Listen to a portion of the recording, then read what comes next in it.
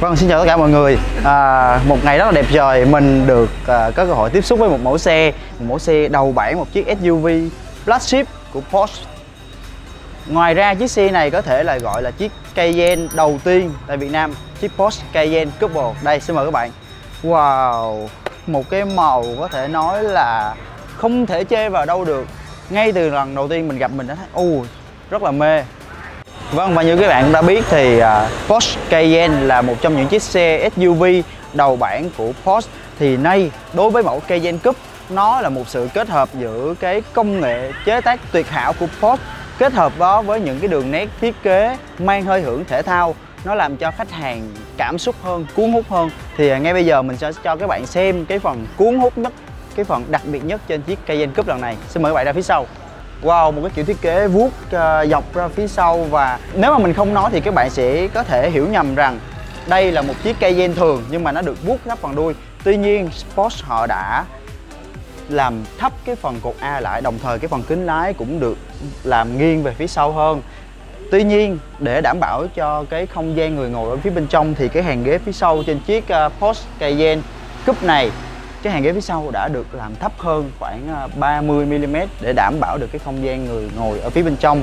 Và cái phần phía sau này các bạn có thể thấy không một cái cánh gió cố định ở phía trên cộng thêm một cánh gió chủ động ở phía sau.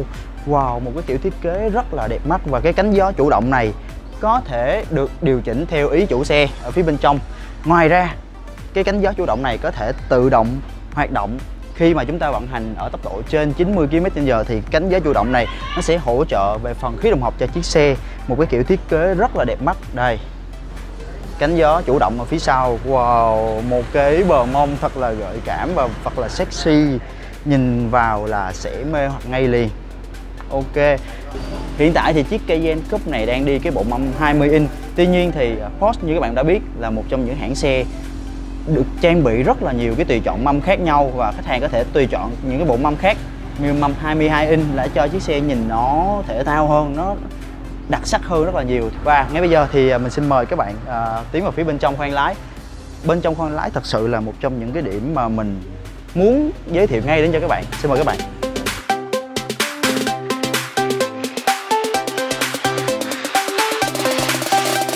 Vâng và bây giờ thì mình đã ngồi vào trong cái khoang lái của chiếc Cayenne Coupe rồi và thật sự là, wow, nó đẹp quá, nó quá đẹp so với mức tưởng tượng của mình. Một cái kiểu thiết kế rất là Porsche rất là thể thao, rất là cảm xúc. Cái đồng hồ hiển thị vẫn là cái kiểu thiết kế đặc trưng, đồng hồ tua máy được đặt giữa và hai bên chính là hai cái đồng hồ điện tử toàn phần LCD toàn phần và mình có thể tùy chỉnh rất là nhiều ở bên này. Đây, bên trái, điều khiển đồng hồ bên trái còn cái bên phải này, điều khiển những cái núm bên phải này. Và đây là chiếc Cayenne Coupe đã được chủ xe trang bị cái gói Sport Chrono gói thể thao, có thêm một cái núm xoay ở dưới này. Đây thật sự là một trong những cái option đặc biệt dành cho những cái khách hàng trẻ, họ thích sự thể thao, họ thích tự cầm lái chiếc xe của mình. Ngoài ra, một cái màn hình trung tâm ở phía ở giữa này sẽ điều khiển hết toàn bộ những cái chức năng của chiếc xe. Như mình đã nói thì Cayenne Coupe là một trong những chiếc SUV đầu bản của Porsche. Tuy nhiên thì à, đây là phiên bản Cayenne Coupe thường à, có giá đâu đó khoảng 5 tỷ tại thị trường Việt Nam.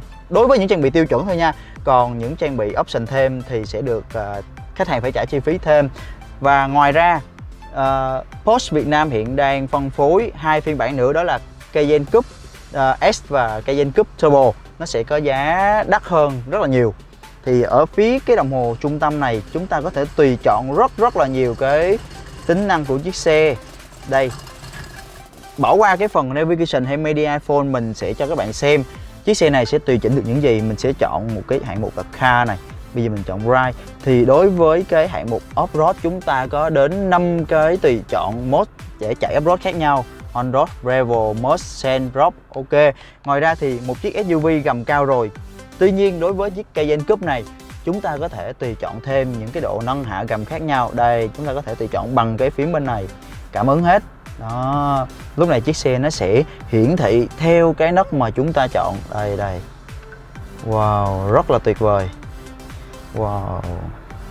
Ok, ngoài ra, đối với hạng mục control chúng ta sẽ có gì?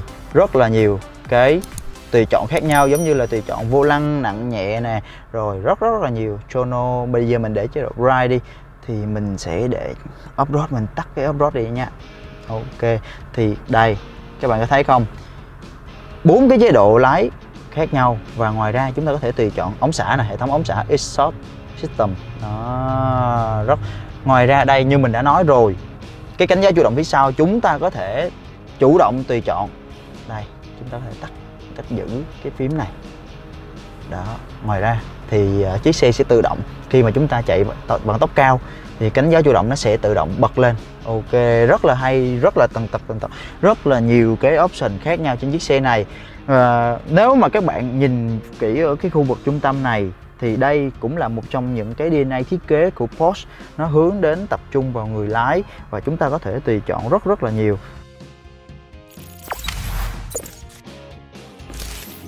Ok, thì bây giờ mình sẽ mở thử cái phần cửa sổ trời để cho các bạn xem.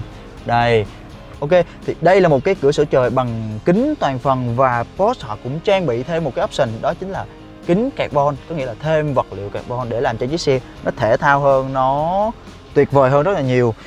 Ok vừa rồi thì mình cũng đã giới thiệu sơ qua một xíu về cái phần khoang lái ở phía trên. Rồi ngay bây giờ mình sẽ mời các bạn ra phần phía sau thì cái hàng ghế phía sau là cái phần mà các bạn thắc mắc nhiều nhất cũng như là rất là nhiều người muốn biết cây gen cúp nó khác với cây gen thường như thế nào. Xin mời các bạn.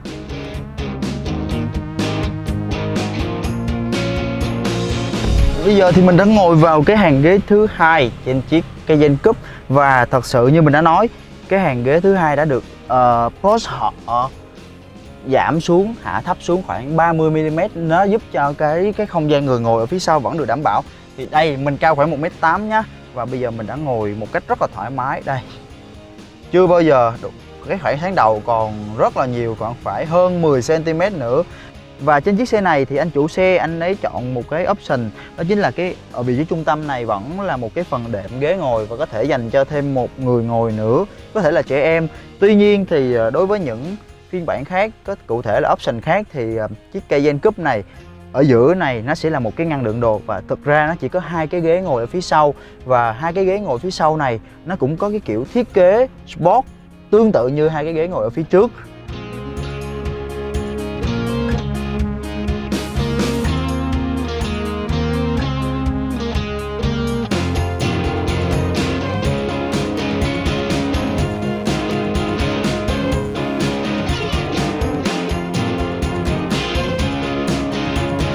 Rồi thì mình cũng đã cho các bạn một cái nhìn tổng quát sơ qua về chiếc Cayenne Coupe Thì phần tiếp theo, mình xin mời các bạn gặp gỡ một nhân vật rất rất đặc biệt trong cộng đồng chơi xe Porsche tại Việt Nam. Xin mời các bạn.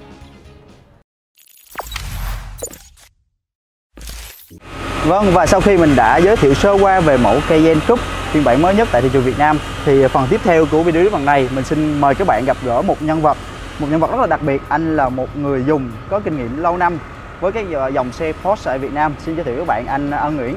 Hello em. Chào dạ, em. chào anh. Hello chào à, chương trình. Dạ. à, rất vui vì xe đời sống đã được anh nhận lời tham dự cái video clip rất có thú vị lần này. Và cái uh, xoay quanh chiếc cái mẫu Cayenne Coupe này thì em có xin dành một xíu câu hỏi với anh à, xin mời anh chia sẻ. Ví dụ như là à, xoay quanh chiếc Cayenne Coupe này thì anh có suy nghĩ gì việc so sánh giữa mẫu Cayenne Coupe và mẫu Cayenne thường? Thì anh có thấy điểm khác biệt nào đáng kể À điểm khác biệt của hai chiếc Cayenne á rất là chắc cho nhà máy đã các công ty và kỹ sư đã nghiên cứu vâng. vì cái Porsche là nguyên bản là những cái dòng xe thể thao dạ. chuyên về thể thao dạ. nhưng làm cái chiếc Cayenne thường thì nó hơi về gia đình quá thì dạ, hãng đã chế tạo ra một chiếc Cayenne Coupe nó mang cái bóc dáng thể thao hơn dạ. cho mình nhìn nó cảm giác nó rất là dễ chung hơn đúng trẻ chung hơn và từ đầu tới đuôi mọi thứ nó đều hơn nó hoàn hảo hơn cái cây danh thường á, thì nó dành cho gia đình nó thiên về gia đình nhiều hơn dạ. cái đít sau nó hơi có phần Vuông. classic quá dạ, dạ đúng. những cái này nó làm vuốt bóc dáng nó tạo nên cái điểm nhấn cho cái chiếc Cayenne dạ. thế hệ mới nhất mang tên bộ yes, yeah. và cũng vì cái điểm uh, cúp đó là cái phần mua sau được vuốt thấp hơn thì anh có nhận xét một xíu gì về cái hàng ghế sau của à, hàng ghế sau á, theo như cảm nhận của mình và mình cảm thấy á, thì tự nếu mà quay ở góc độ này thì cái ghế nó vẫn là nằm ở cái khoang này và cho người dùng châu Âu thì nó rất là tốt được nói tới người châu Á của mình nhưng phần nó vuốt nó chỉ là phần vuốt của cái cốp phía sau à. cái đuôi cốp phía sau và cái phần nhựa này thôi à nó tạo nên vóc dáng nó thể thao hơn chứ nó hoàn toàn nó không có nhỏ hơn vâng. ở trong hàng ghế nó rất rất là rộng rãi thoải mái vâng. à. đây các bạn một cho người châu Âu nó phải ngồi tốt đây nó chỉ có vuốt cái phần đuôi này thôi kiến thôi cái không gian thôi chứ còn lại cái này là rộng rãi bình thường dạ vâng. à nhưng mà tạo cảm giác cho mình à, con mắt mình cảm giác cái xe nó rất là gọn dạ. tinh tế hơn dạ. mang vâng. đúng tính chất thể thao của Porsche một okay. truyền dạ vâng, cảm ơn anh theo anh nhận thấy thì trong những năm vừa qua anh đã cũng tiếp xúc với nhiều người sử dụng dòng xe Porsche khách hàng trẻ thì đối với những khách hàng trẻ thì họ có những cái nhu cầu những cái option nào khác so với những cái đối tượng khách hàng mà kiểu lắc xích như trước à. không ạ? À? Nhất là khách hàng của Porsche là càng ngày càng trẻ tuổi đi rất là nhiều Được. thì dạ. họ yêu cầu những cái à, điểm như là thế nào cái xe càng mang tính chất thể thao càng tốt ví dụ yeah. Dạ. như cái thế hệ uh, Sport Plus. Dạ. à, nó có đồng hồ và nó có cái uh, những cái nút nhấn thể thao để cho nhiều trải nghiệm hơn, nó nhiều nút hơn mà nó ấy với phần nữa là mâm và phần đèn oh. là những cái thứ quan trọng mà với giới trẻ hiện nay rất là yêu thích yeah. những người lớn có thể không uh, quan tâm tới cái đó lắm yeah. mang về chất lượng chiếc xe này nọ nhưng giới trẻ họ thích. Dạ. trao chuốt hơn về đèn Magic các kiểu à. mâm thì mâm càng to càng tốt đẹp sunroof rồi có thế hệ Sport Plus là cái cái rất là cần cho một chiếc xe dạ, nếu có điều kiện thêm thì họ chơi thêm những cái ống bô ống xả thể thao dạ, nó mang okay. cái tiếng khi mà mình vận hành với lại cái ờ, cái tiếng máy nó rất là hay rất là mượt dạ. zin của nó ok anh đã từng gặp những cái trường hợp mà khách hàng trẻ họ muốn cái option đó mà cái kiểu hơi lạ một xíu hơi quái một xíu không anh? Anh đã từng gặp à, chưa? cái đó thì rất là nhiều rất là nhiều khách hàng mỗi khách hàng nó đều một quan niệm khác nhau và mỗi người có một cái sở thích khác nhau. Dạ. tuy nhiên bọt là cái xe mà cái hãng chuyên bán về option trong dạ, tất cả những option của các bạn đều được đều được đáp, đáp ứng à. chỉ có vấn đề là số tiền bạn bỏ ra có tương ứng bạn có thể thích hay không. Dạ. Anh sẽ chia sẻ một xíu về cái chi phí bảo dưỡng một mẫu xe ví dụ như là chiếc Cayenne như à ngày trước đây thì mọi người cứ hay lầm tưởng là bảo dưỡng chiếc xe bọt nó rất là mắc. Yeah. Dạ. nhưng thật ra nó hoàn toàn là không là mắc bởi vì sao? Nó rất là bền. Bạn à. có thể sử dụng nó 15.000 km cho một lần bảo dưỡng. À, ok. Và yeah. tất cả mọi thứ đều tốt. Nhưng các bạn nên nhớ đó một điều là bọt bây giờ ta làm khác những cái hãng khác là họ bán một cái gói free 4 năm hoàn toàn. Yeah. Dạ. bảo dưỡng bảo trì đâm ra bạn không có mất một xu nào nữa hết. Trong chiếc xe rồi nó đã bán sẵn một lần luôn. Cứ đúng định kỳ tới là bạn cứ tới thay miễn phí và đi về thôi. không còn trả thêm một đồng nào trừ những cái sự cố mà do bạn tự tạo ra ví dụ. Dạ. như lũng bánh xe hay là đâm đụng hay những cái gì thì dạ. nhà sản xuất người ta không bảo hành vấn đề còn những cái người ta, tính trọn vẹn cho bạn đâm ra bạn chỉ có đừng có suy nghĩ tới vấn đề dịch vụ như ngày xưa nữa nó khác rất là nhiều và yeah. là chính hãng nó đã có mặt tại Việt Nam chính yeah. hãng chứ không phải là qua một đại lý phân phối nào yeah. đâm ra các bạn cứ yên tâm sử dụng đó yên tâm sử dụng yên tâm dạ. sử dụng dạ chi rồi. phí không phải trả nữa đó là cộng vào chiếc xe từ đầu rồi đâm ra các bạn nghe cái giá nó hơi mắc một chút nhưng thật sự là không mắc dạ, thật sự dạ. là nó đã bao gồm cái phối free 4 năm đó oh, nó nằm 4. trong cái xe rồi dạ rồi ok Ok như các bạn đã thấy thì mình và anh Ân Nguyễn là một trong những người có thể chạy to cao so với vóc dáng người Việt Nam thì à, mình và anh Ân cũng đã ngồi hàng ghế sau rồi. Và các bạn có thể thấy là không có gì gặp gì khó khăn đúng không anh? Đúng là thoải mái khoang nó vẫn rất rộng và trần nó vẫn rất cao. Mình cái độ trung bình của ân với lại bạn đây là dạ, một mét bảy rồi. Dạ đúng. Nên cảm thấy ngồi nó thật là thoải mái. Ngay cả khi em ngồi thẳng lưng như thế này vẫn chưa bao giờ đụng đầu hết. Đúng rồi tất cả dạ. mọi thứ nó, nó rộng rãi. Dạ. Đúng rồi. Mọi người cứ hay lầm tưởng cái couple là nó sẽ nhỏ hơn dạ, cái hàng ghế phía sau nhưng thực sự ra nó rất là rộng. Dạ. Dạ, như anh thì nếu mà anh đã lần đầu tiên anh tiếp xúc với chiếc uh, Cayenne Coupe này thì anh có cái cảm giác này nó khác liền so với chiếc cây gen thường không anh? Có cảm giác là sao nó từ trong cái tư tưởng mình là mình đã thích thú nó rồi. Mình dạ, nhìn cái vóc dáng nó mình là cảm thấy tất cả mọi thứ nó bị mê hoặc bởi cái cái cái vóc dáng nó là cái cái đường nét nó nó quá dạ. đẹp nó quá chuyển so với cái cái gen bản dạ, bình thường. Nào, nhưng cái bản rồi. bình thường thì nó cũng có cái lợi của nó là gia đình thì cảm thấy dạ, nó nó classic và nó ấy hơn. Nhưng dạ. mà mình nghiêng về cái độ tuổi trẻ dạ, của cái ờ, những người yêu thích bọt Việt Nam thì họ thích cái vóc dáng nó thể thao hơn chút dạ. xíu và nhìn nó bắt mắt. Đúng rồi. À, đối tượng cái đó là cái chính. Dạ đúng. Ngay cả em mà khi mà em ngồi vào em thấy wow cái xe này nó nó bắt mắt quá nó hút mình ngay lập tức nào là vuốt đuôi rồi cánh gió chủ động rồi vân vân vân vân. Rộng rãi dạ. để tay thoải mái mình ngồi rất là thoải mái rèm hông đồ đây đầy đủ. Dạ. máy lạnh bốn vùng điều khiển mỗi người một ờ, cái hệ thống riêng biệt. Dạ. cũng rất là tiện.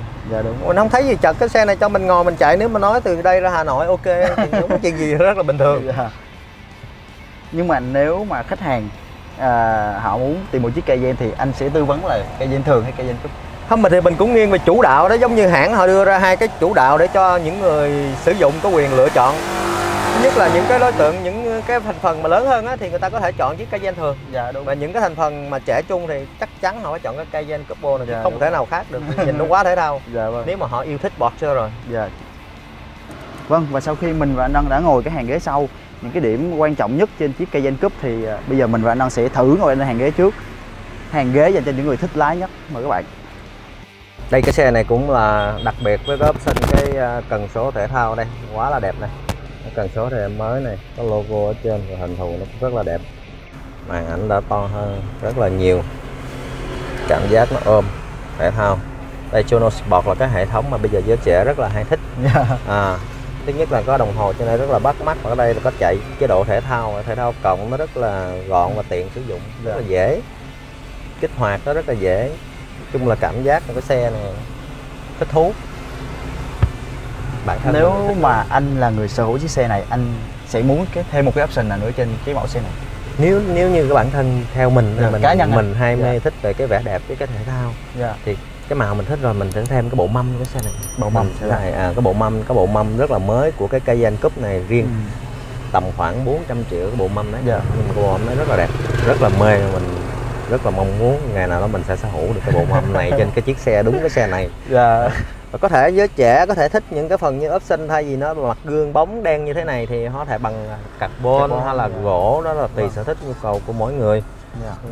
nhưng nếu là mình thì mình có thể ờ, thích cái ghế này bạn. Không phải cái ghế da thật cái này là ghế da thật nhưng mình sẽ thích cái ghế ờ, À, giống như là caro nỉ cái cái cái loại mới. Nó đang cái rất là đẹp rất là giống như là rất kiểu là dòng dã như vân nó nỉ nó, carbon nó, đúng rồi anh? nó, nó đẹp lắm nó, nó nó rất là thể thao lắm mà mình cảm giác cái đó như nó không cũ. Mình nhìn lúc nào nó cũng Ồ, mới dạ, hoài đúng nó dễ hơn cái da này.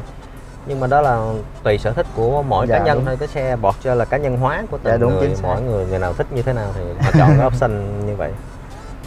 Đó đây là chiếc xe Coupe 2020 nó là một trong những chiếc xe có số rồi đầu tiên ở Sài Gòn này Dạ. một trong những lô đầu tiên tuy nhiên ở Hà Nội trước đó cũng có hai chiếc rồi có hai chiếc. nhưng mà chiếc màu cam có số ở đây là chiếc đầu tiên của Sài Gòn Dạ. mình cũng Wow. rất thích thú là được lái Chiếc xe đầu tiên nha các bạn. chiếc xe đầu tiên ở Sài Gòn này nhé Dạ. và đã có số và đã lăn bánh trên đường và anh Ân là một clip. trong những người như là lái đầu tiên chiếc xe này luôn đúng không đúng rồi mình rất thích nó mà mình mình lái nó mình mình cảm giác sướng chứ cái gì mà đầu rồi. tiên mà mình được mở hàng Wow, mình kiểu chạy như mình cảm giác mình thích thú mình mê thôi dạ đúng rồi nó là cái nghề của mình mà mình cũng bản thân mình cũng yêu nó giống như là mình đang có cái chất thể thao Đúng sẵn rồi, trong người mình mình mà gặp chiếc xe này đúng nữa rồi thì- quá phiêu quá thích rồi Ok. cảm ơn à, em dạ cảm ơn chia anh, sẻ anh đã tham chương dự trình này. clip rất là thú vị cùng xe đời sống lần này dạ, Ok. xin cảm ơn anh Ân xin cảm ơn tất cả mọi người Dạ, đã rồi. theo dõi bye bye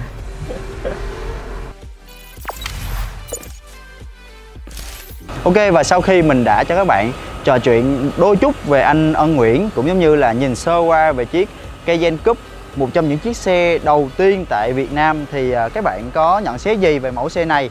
Xin vui lòng để lại comment phía dưới cho chúng tôi biết. Và một lần nữa chúng tôi xin à, cảm ơn các bạn đã theo dõi đồng hành cùng xe đời sống. À, các bạn có nhu cầu gì các bạn có mong muốn gì những mẫu xe gì được chúng tôi review chúng tôi cho các bạn trải nghiệm thì xin vui lòng để lại comment phía dưới cho chúng tôi biết. Và một lần nữa cảm ơn các bạn đã theo dõi và hẹn gặp lại trong clip lần sau.